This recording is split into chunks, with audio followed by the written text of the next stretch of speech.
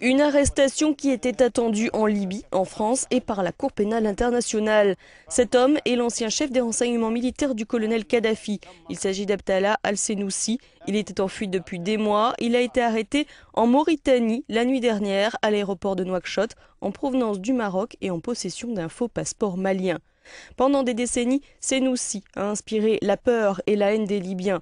Il était le bras droit de Kadhafi et son beau-frère. La CPI veut le juger pour crime de guerre. Réaction à Tripoli. C'est un moment de joie pour les Libyens, même si j'aurais souhaité qu'on l'arrête ici. Peu importe ce qu'on lui fera, ce ne sera pas une vengeance suffisante compte tenu de ce que Senoussi nous a fait. Senoussi est la boîte noire de Kadhafi. Il détient beaucoup d'informations. C'est lui qui a tué 1200 prisonniers. Il a du sang sur les mains. Et il devrait être amené ici et jugé en Libye.